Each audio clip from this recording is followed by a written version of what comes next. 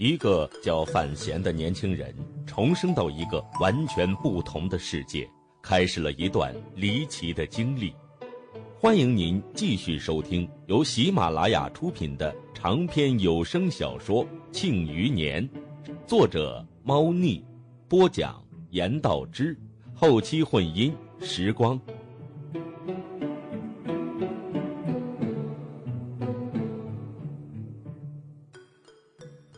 第七百二十二集，风雪送春归。这片大陆上的春天还在南边积蓄力量，北边的风雪却早已经将所有的春意扼杀在了摇篮里。大陆北端，一年三百六十日，风刀霜剑严相逼，只怕是根本就没有什么春天可言。漫天的风雪化作一道道深刻入骨的刀剑，左一刀右一剑的劈斩着。三日里难得一见露出雪面的黑黝山石，就因为这些天地冷冽无情的雕琢而显出死寂一般的姿态。这里，是一片冰天雪地，更是一片死地。然而，如今却有一列小黑点儿。行走在百年孤独的雪原之上，沉默而坚定的向前行着。偶有数声犬吠，穿透风雪的呼啸之声，传向远方，带来几分鲜活的感觉。这个队伍中只有三个人，却足有六十几只雪犬，牵动着承载着食物装备的长长雪橇，不断的向着北方进发。听闻这些行于极北之地的雪犬是雪狼的后代，只有那些能够忍受酷寒的北地蛮人才能够将它们驯化，成为人类的好帮手。然而这些年大陆变得越来越寒，一出北门天关，气温骤降。往日里在雪地里赤膊作战的北地蛮狐，早已经不惜一切代价的南迁至西方草原上。雪原回归了平静，这些雪犬又是谁的呢？裹着厚厚的毛皮，连头带脸都蒙着温暖的狐裘，脚下穿着皮靴，手上戴着厚厚的手套，整个人包成粽子一样。范闲喝了一口气，发现热气出唇不久，便似乎被这天地间的严寒冻成了雪渣子，他的面色有些发白。虽然自从庆历五年知晓了神庙的去向之后，他暗中已经做了好几年的准备，可是真正的踏上了这片雪原，他才感觉到，原来天地间的威势不是做好了心理准备就能够真正承担的。离开北齐上京城已经有好些日子了，穿过已经没有太多军事驻扎的北门天关，也已经有了七八天。一想到那座雪城上的军士像看死人一样看着自己这些人和狗走入雪原，范闲的唇角便不自禁的泛起了一丝苦涩的笑容。看来依然是没有人看好自己这行人。他将手指伸到唇间，打了个呼哨，身周六十余头雪犬耳朵灵动的竖了起来，精神十足的摇了摇头，抖落了身上的冰雪，身毛。四足站立在冰冷的雪中，似乎根本毫不畏寒，吐着长长红红的舌头，等待着主人的下一个指令。此时风雪似乎小了一些，范闲身前身后两辆简易雪车里行出二人，海棠和王十三郎此时也被裹成了粽子，他们面带着疑惑的看着走进了范闲的身旁，趁着雪小。咱们得赶紧走。王十三郎的声音透过那层毛皮传到了外面，显得有些嗡嗡的。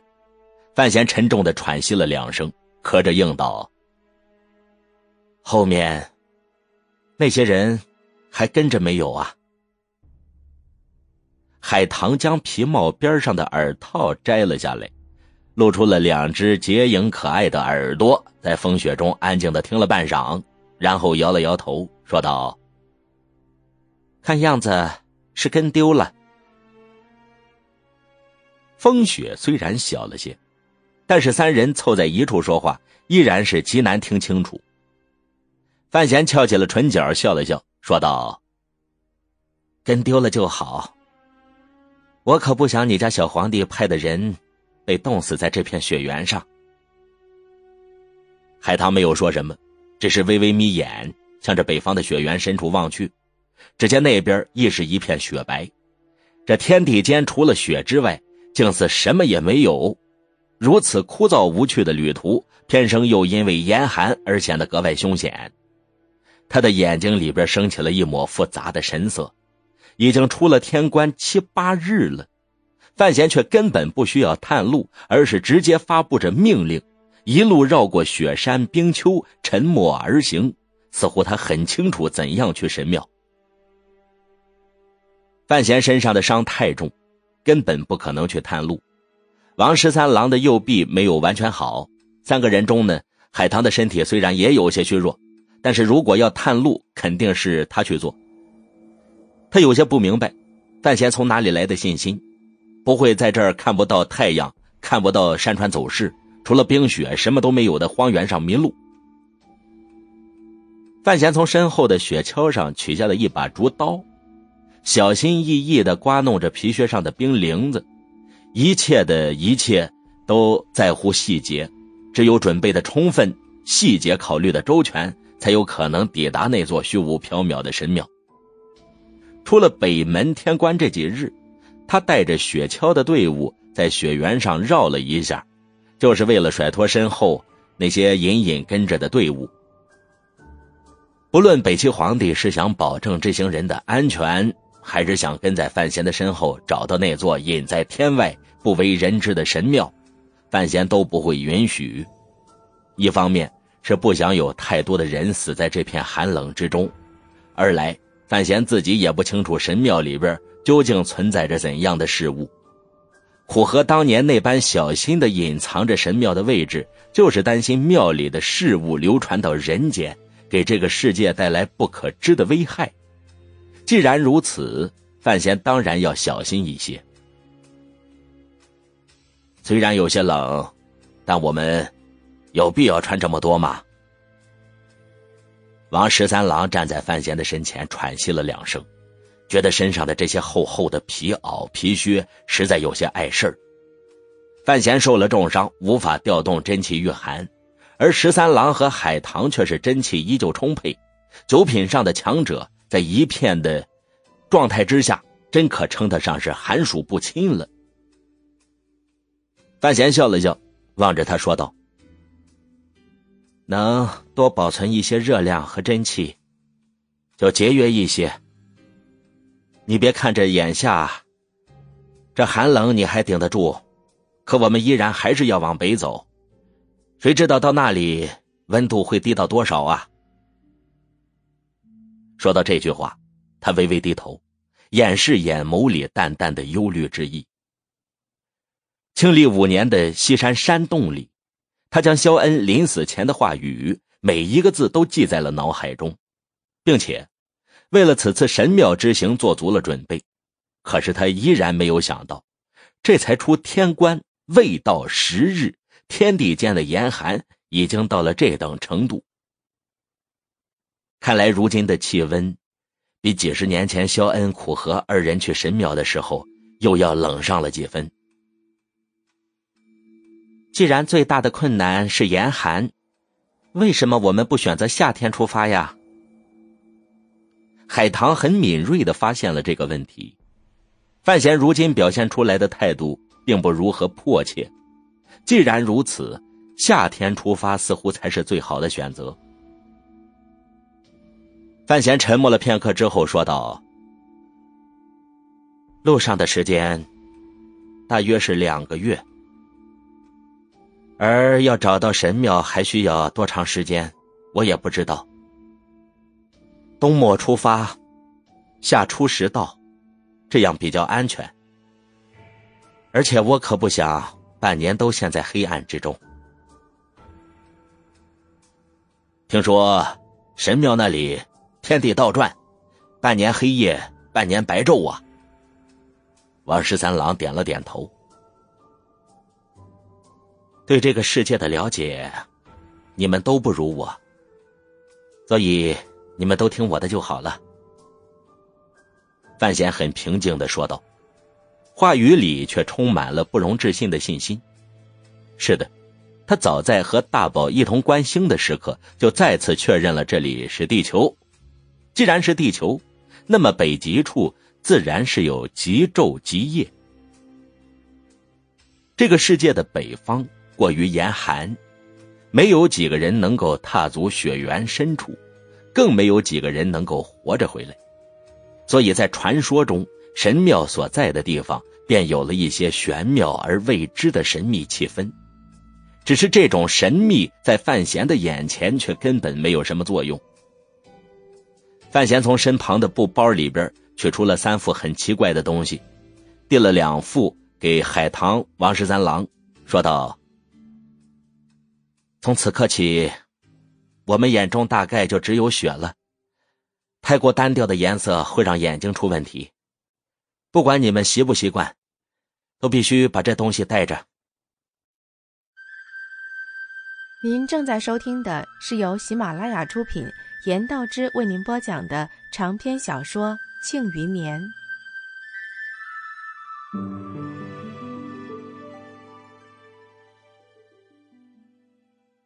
话一说完，范闲便把那个物事戴到了自己的鼻梁上，原来是一副玻璃做的眼镜，只是镜片上被用某种涂料涂成的颜色依然能透光。海棠微微眯眼，看着范闲，半晌不语，越发觉得他有些看不透，更不知道手里拿着的这个东西有什么用处，对眼睛会好吗？他没有多问什么，而是学着范闲的模样。把这个世界上第一次出现的墨镜戴到了翘翘的鼻梁上。水晶眼镜他们是见过的，但从来没有见过这种黑色的。王十三郎看了海棠一眼，有些犹豫的也戴上了眼镜。三个人顿时变成了三位算命的年轻瞎子，看上去倒是也有几分滑稽。三人对视片刻，忍不住都笑了起来。赶路吧。再过一个时辰就要扎营了。范闲从怀中取出小易保护好的怀表，看了看，又眯眼看了看风雪中的天色，开口说道：“一路向北，再凭天色看时间，只怕不准。他也不知道这个怀表能够在严寒之中支撑多少天。”一声呜呜的声音响起，休息了片刻。的这六十余雪犬精神一振，吠叫着，欢愉的向着雪原的深处赶去，浑身上下银白色的毛皮流动着一股美妙的动感。范闲半倚在雪橇的皮箱之上，微微眯眼，感觉着眼睫毛上的冰雪，冰雪冰冷着自己薄薄的肌肤，忍不住抽动了一下鼻子，将自己领口和袖口的活扣系带。拉得更紧了一些，不想让任何一丝雪粒漏进自己的身体。从庆历五年知晓了神庙的方位和路线图，范闲将这个秘密藏在自己的心里边已经六年多了。他知道，冥冥中注定自己终将去神庙一行，只是没有想到，最后是因为要去找五竹叔，是因为自己和皇帝陛下之间的决裂。探险的旅程啊，一旦有了这种直接的目的，似乎就丧失了许多美好的感觉。雪橇在平整的雪原上快速的滑行着，四面八方传来雪犬们的急促呼吸声和簌簌的风雪声，在这样的声音陪伴下，范闲似乎快要睡着了。他不可能睡着啊，他在仔细的听着雪犬的呼吸频率。以判断他们的疲累状态。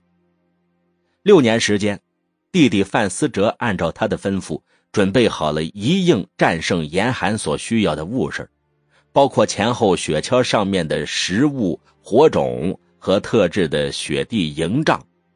而这些在北门天官驯养了三年的雪犬，更是范闲此次神庙之行最大的倚仗。从这些方面可以看出，范闲是一个无比细心之人。他从来不打无准备之仗，在世人看来呢，要去上夜神庙有如登天般难，而在他看来，只要准备充分，神庙也不过就是一个偏远一些的旅游景点罢了。唯一令他有些警惕的就是寒冷，如今的寒冷更胜肖恩苦和当年。当年大魏朝是摆出了一个数百人的探险队伍阵仗。最后，肖恩苦和两大牛人还需要吃人肉才能熬到神庙现世。如今他们的队伍里边只有三个人，能不能够撑到那处呢？范闲闭着眼，却不担心自己会被冻僵，体内的经脉确实已经废得差不多，无法调动真气护体。然而很奇妙的是，一入这片荒无人烟、奇寒无比的雪原，他便敏锐地察觉。风雪之中，天地的元气似乎比南方任何一处地方都要浓郁许多。这种敏感归功于苦荷大师临终前所赠的小册子，如果没有那个小册子，范闲只怕根本感应不到天地里的丝毫变化。为什么越往北去，天地间的元气就越浓郁呢？这是一个令范闲百思不得其解的现象。不过，这终究是好事。他半躺在雪橇上，缓缓呼吸着天地间的元气波动。如果北方的元气更加浓郁，或许只需要花上两年或者三年的时间，他体内的经脉便可以被修复如初了。雪橇在冰雪上微微一颠，范闲从那种空明的状态中醒了过来，双眼微眯，透着墨镜，平静地观察着前方的风雪大地，忽然间有所领悟。当年，大魏朝雄霸天下，那位已无所求的皇帝陛下为求长生之道而遣使进献神庙，这一切的一切都是因为苦荷的提议。肖恩执掌的是提旗，隐约掌握了神庙的大致方位，可是天底下的凡人又有谁敢冒着生命的危险前去一探呀？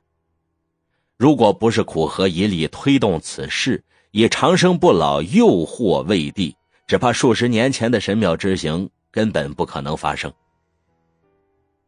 苦荷为什么对神庙有如此大的兴趣呀？以至于不惜一切代价也要前去？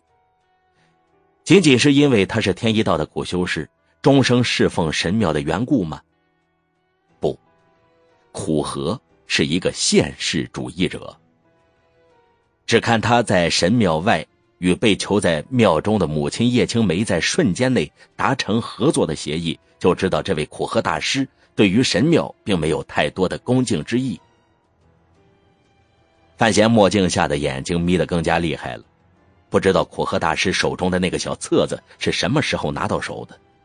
莫非那个时候他就已经察觉到了北方的天地元气有问题，所以想去神庙看一看这一切波动的源泉和真相？风雪越来越大，温度越来越低。原先还偶尔能够看到的白杨和雪狐，此时也不知道跑到哪儿去躲避严寒了。整座荒凉的雪原上，就只有这一行雪犬拉着队伍在风雪中艰难的前行。范闲所处的雪橇上传来。他两声压抑的咳嗽声，这等低温已经不是一般人能够抵御的，而他伤势未愈，确实熬得有些辛苦。前方雪橇上的王十三郎像是没有听见范闲的咳嗽声，而是双眼警惕的看着前方。忽而他的身体化作一道剑光，穿着臃肿的皮袄破空而去，直接杀到了雪犬队伍的最前方，朝着一处微微隆起的冰雪下狠狠刺下去。雪犬一阵嘈乱，半晌后才平静了下来。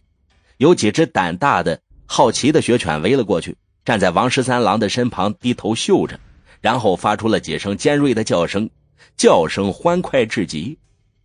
王十三郎左手执剑，收回了剑鞘，看着被雪犬们从雪地里边刨出来的那只魂体洁白的大熊，发了发呆。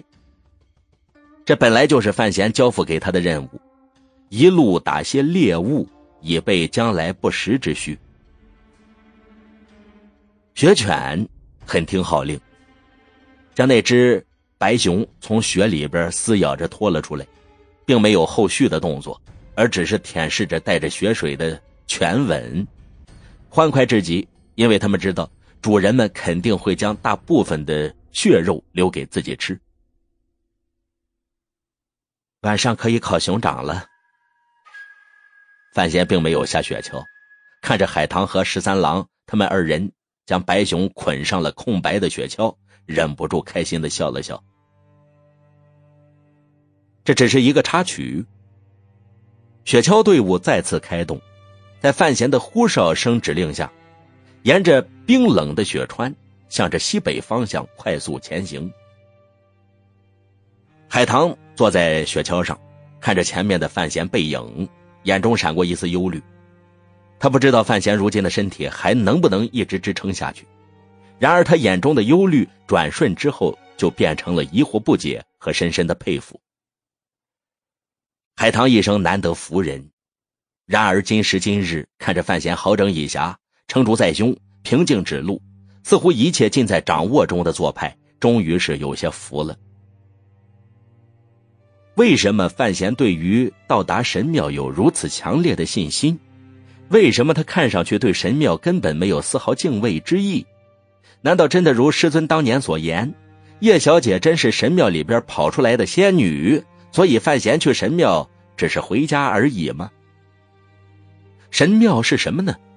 没有几个人知道。范闲半闭着眼睛窝在一处，节省着体力，心里也在泛着淡淡的波浪。他知道母亲曾经去神庙偷过东西。他甚至知道，最亲的五竹叔本来就是庙里的人，按道理来讲，他是这个世界上与神庙关系最密切的人，所以此行神庙，他的心态也有些怪异，似乎他可能会发现一切事物的真相，甚至可能是自己这次生命的真相。当然了，这也有可能只是奢望罢了。眼下最关键的问题是找到神庙，当年苦河肖恩。都是这片大陆上最强大的人，而且年纪体力正在巅峰状态，可是依然找的那样辛苦。范闲与他们相比没有什么优势，可他的信心究竟在哪里呢？知识就是力量。范闲比这个世界上的其他人多了前世的知识，所以很多玄妙在他的眼里边其实都只是自然现象，而正因为这些知识。他又从肖恩的嘴里边知道了路线图，所以呢，他并不担心自己会迷路。雪橇上的范闲将内裤去年出的最新这个指南针小心翼翼的放回了袖袋之中，叹了一口气，伸出了手指头，在飘着雪的空中一上一下划了两个半圆弧线，轻声自言自语的说道：“雾。”是个什么意思呢？感谢您收听由喜马拉雅出品、严道之为您播讲的长篇小说《庆余年》。